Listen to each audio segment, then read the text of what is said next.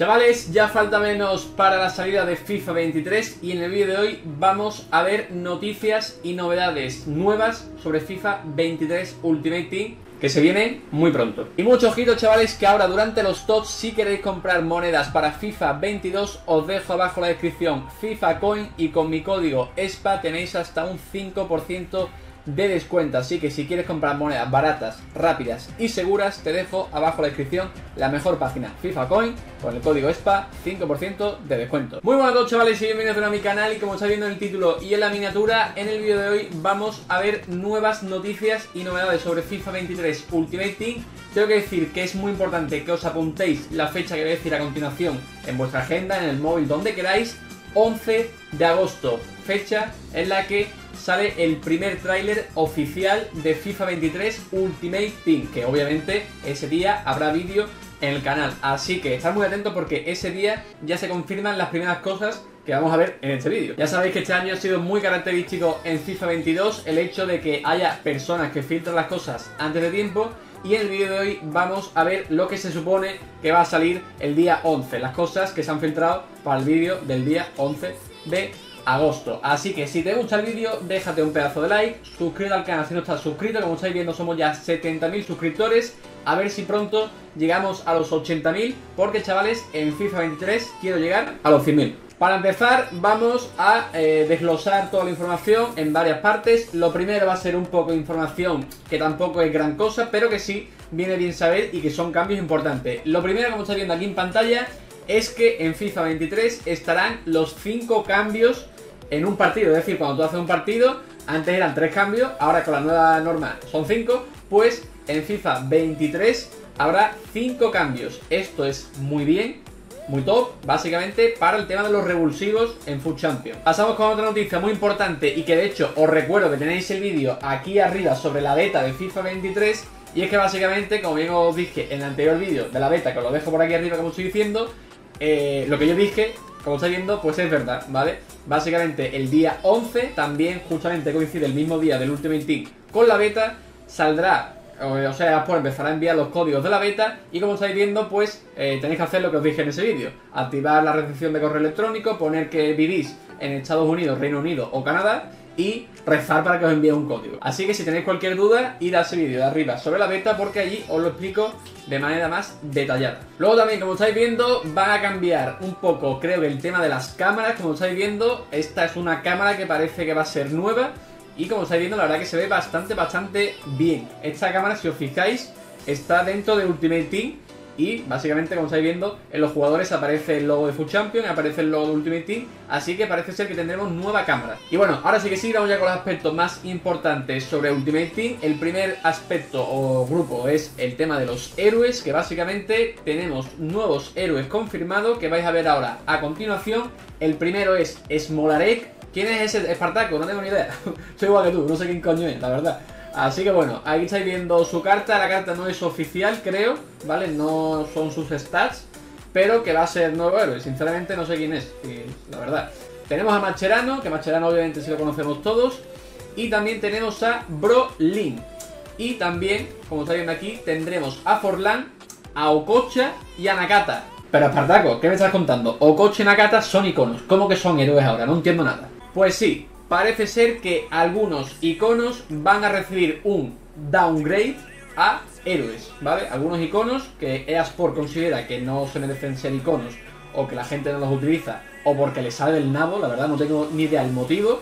Eh, algunos iconos van a pasar a ser héroes, como downgrade por así decirlo, ¿vale? Y ya está confirmado de que Okocha va a ser uno de ellos y Nakata también. Creo yo, sinceramente, el motivo no lo sé, ni creo que lo sepa nadie, pero bajo mi opinión creo que van a ser los iconos menos utilizados, ¿vale? Tipo Nakata, tipo Inzaghi, por ejemplo, tipo Okocha, los menos utilizados pues serán los que van a ser héroes. Creo yo que es eso, ¿vale? Pero es oficial que estos dos iconos pasan a ser héroes. Puede ser que hayan más, pero de momento solo sabemos que son estos dos. Y hablando de iconos, chavales, como estáis viendo aquí en pantalla, regresa Maradona como icono a FIFA 23. Recordar que Maradona este año se lo han fumado, en el juego está, pero lo han quitado, ¿vale? En los sobres, en el mercado, en todo.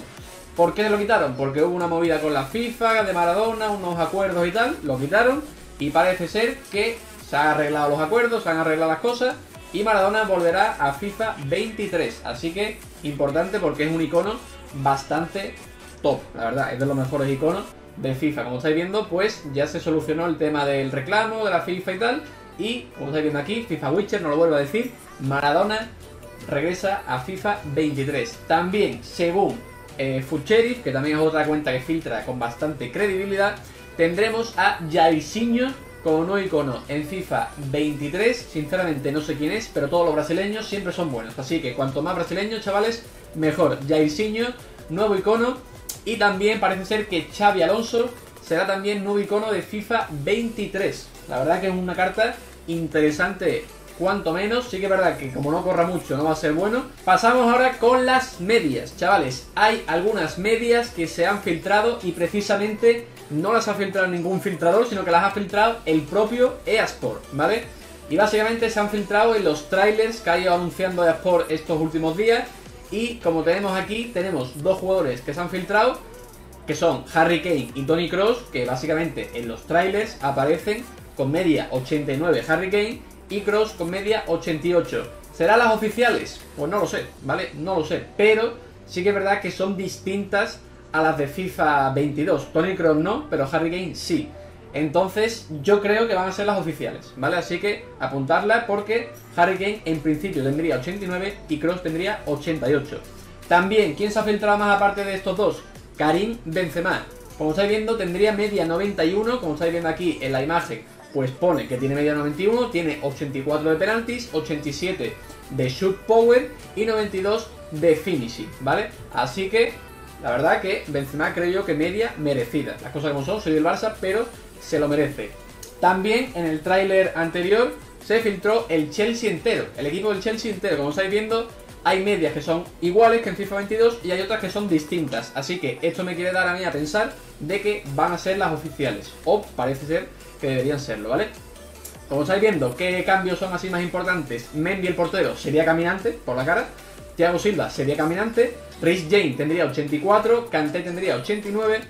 Haver la han bajado a la 83 y Werner también. Y así interesante, pues Ziyech que también la han bajado a 83. Y por último, vamos con el aspecto que creo yo que es más importante de todos los del vídeo y es el tema de la química. Ya sabemos más o menos cómo funciona la química. Del todo no se sabe, ya lo digo, porque es extraño de cojones, ¿vale? Y seguramente el día 11 de agosto en el tráiler lo mostrarán porque es raro, ¿vale? Ya os digo yo que es raro. Vamos con lo único que se sabe. Lo primero es que no hay 100 de química. Hay 33. Espartaco, ¿cómo que 33? Sí, sí, hay 33 de química. Lo máximo es 33, lo mínimo es 0. Como estáis viendo, según por aquí, hay un nuevo sistema de jugador de 3 estrellas, ¿vale? Cada jugador aporta 3 estrellas. 3 por 11, 33. Bien, Espartaco, sabes multiplicar. Como estáis viendo, los enlaces no tienen que ser directos. Esto quiere decir que, por ejemplo, me lo invento, eh, Neymar no tiene que estar con Mbappé al lado, ¿vale? O Messi, bueno, Messi no porque es del PSG también, yo que sé, me lo invento. Lewandowski no tiene que estar con Ansu Fati al lado. O Álava no tiene que estar con Militao al lado, ¿vale? Eso me refiero. Luego, puede estar en cualquier parte del equipo. Aquí viene lo importante. Por ejemplo, imaginaros el Barça, ¿vale? Tenemos a Depay de delantero, tenemos a Piqué de defensa, tenemos a Araujo de defensa y tenemos a Pedri de mediocentro, ¿vale?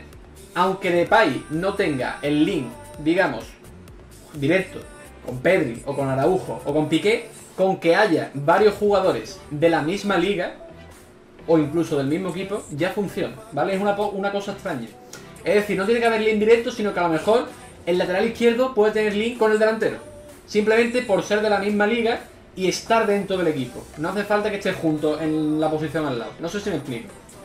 Luego, los iconos y los héroes tienen la química completa y solamente pueden estar los jugadores en sus posiciones correctas. Recordar que este año cada jugador tiene una posición eh, primaria y una posición secundaria. Entonces, esto nos da a entender de que este año podremos hacer plantillas híbridas bastante fácil, ¿vale? Podremos mezclar ligas bastante fácil y jugadores, por ejemplo, que no están en las cinco grandes ligas, en Bundesliga, League One sería Premier y Liga Española, por ejemplo en la MLS o en eh, la Liga de Portugal, los podremos meter en nuestros equipos siempre y cuando nos interese, obviamente, eh, sin problema, ¿vale? Ya que este año la química es rara de cojones, pues se podría hacer. No sé si lo habéis entendido el tema de la química, chavales. Recordar que el día 11 de agosto va a haber ya tráiler oficial por parte de EA Sport en cuanto a Ultimate Team, así que si lo confirman allí eh, las cosas nuevas sobre la química sobre todo, que es lo que yo creo que es un poco más complicado de entender, pues lo traeremos al canal. Pero ya os digo chavales que es eso, que este año cambia bastante el tema de la química, lo veremos próximamente, así que si no has entendido algo me lo preguntas en los comentarios, te respondo lo antes posible. Déjate un pedazo de like si te ha gustado el vídeo, suscríbete al canal y me ayudas a llegar a los 100.000 suscriptores, chavales. Este año hay que llegar sí o sí y poner la placa por ahí. Así que me despido y nos vemos en el siguiente vídeo. Chao.